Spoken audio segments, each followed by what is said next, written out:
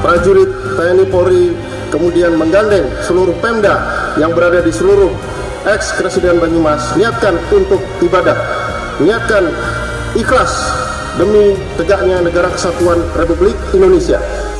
Sinergitas tidak hanya berada di lapangan ini, lanjutkan sinergitas berada di lapangan sampai dengan pangkat paling rendah. Ingat kita sebagai TNI, Polri maupun Pemda sebagai perekat bangsa yang menjaga persatuan dan kesatuan Republik Indonesia. Tidak ada ancaman yang akan menggagalkan atau memecah belah TNI Polri. Kita satu, hanya NKRI, tidak ada yang lain. Ciptakan situasi yang kondusif untuk saling bekerja sama, soliditas, dan bersinergi.